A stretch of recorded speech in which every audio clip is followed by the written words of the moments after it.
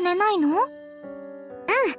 ちょっと久しぶりにこれを読みたくなって。あ、それ？私があげた騎士の物語のやつオートについてからさ、また読み返したくて、うずうずしてたんだ。うんうん。たまに読み返したくなることってあるよね。まだ持っててくれたんだ。もちろんだよ。一番好きな本だもん。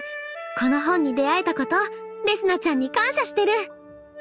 そこまで言ってもらえるなら嬉しいな。プレゼントしてよかった。ねえねえ、どんなところが好きなの？やっぱり正義を貫く騎士の姿かな。自分の信じる道を進む志がかっこよくてさ。わかる自分もあんな風に生きたいって憧れるよね。そうそう。って、もうこんな時間？